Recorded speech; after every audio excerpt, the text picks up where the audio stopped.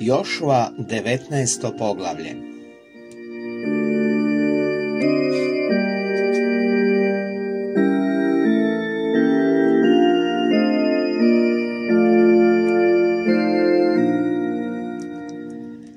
Drugi ždrijeb je izišao za Šimuna, to jest za pleme djece Šimunove, po njihovim obiteljima.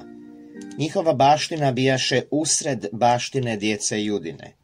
Oni su kao baštinu posjedovali Ber Šebu ili Šebu i Moladu i Hasar Šual i Balu i Azem i Eltodad i Betul i Hormu i Siklag i Bet Markabot i Hasar Susu i Bet Lebaot i Šaruhen, 13 gradova i njihova sela. Ain, Rimon i Eter i Ašan, četiri grada i njihova sela. I sva sela koja bijahu oko tih gradova do Balat Bera, Ramata južnoga. To je baština djece Šimunove po njihovim obiteljima. Baština djece Šimunove bila je od dijela djece Judine, jer je dio djece Judine njima samima bio prevelik. Stoga su djeca Šimunova svoju baštinu imala usred njihove baštine. Treći ždrijeb izišao je za djecu Zebulunovu po njihovim obiteljima. Međa njihove baštine bijaše do Sarida i penjala se njihova međa prema moru i Marali i dopirala do Debašeta i sezala do rijeke koja je pred Jokneamom i skretala od Sarida na istok prema sunčevu izlasku do granice Kislot tabora, te potom izlazila do Daberata i uspinjala se do Jafije. Odande je prelazila na istok do Githefera, do Itakazina i izlazila do Rimon Metoara do Neje i zaobilazila je međa sa sjevera do Hanatona i izlazila u dolini Iftah El. I Katat i Nahalal i Šimron i Idala i Betlehem, 12 gradova s njihovim selima. To je baština djece Zebulunove po njihovim obiteljima, ti gradovi s njihovim selima. Četvrti ždrijeb je izišao za Isakara, za djecu Isakarovu po njihovim obiteljima. Njihova je međa bila prema Izraelu.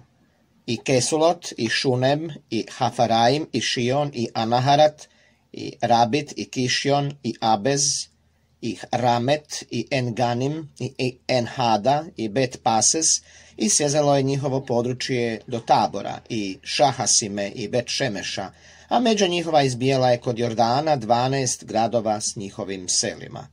To je baština plemena djece Isakarove po njihovim obiteljima, gradovi i njihova sela. Peti ždrijeb je izišao za pleme djeca Ašerove po njihovim obiteljima.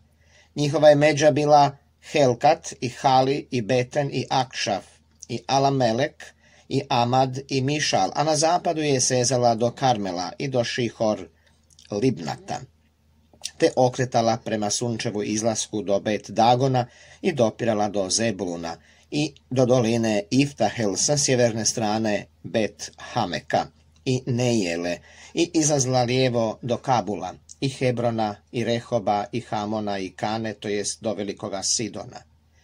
A tada je međa okretala do Rame i do jakoga grada Tira, skretala do Hose i izlazila kod mora od obale do Akziba. I Uma i Apek i Rehob, 22 grada s njihovim selima. To je baština plemena djeca Ašerove po njihovim obiteljima, ti gradovi s njihovim selima. Šesti ždrijeb je izišao za djecu Naftalijevu, za djecu Naftalijevu po njihovim obiteljima. Njihovo područje bijaše od Helefa, od Alnona, do Sananima i Adami, Nekeb i Jabnel do Lakuma i izlazilo je kod Jordana. Tada je područje skretalo na zapad do Aznot tabora, odande je izlazilo do Hukoka, te s južne strane dopiralo do Zebuluna. Sa zapadne se strane pružalo do Ašera i do Jude na Jordanu prema izlasku sunca.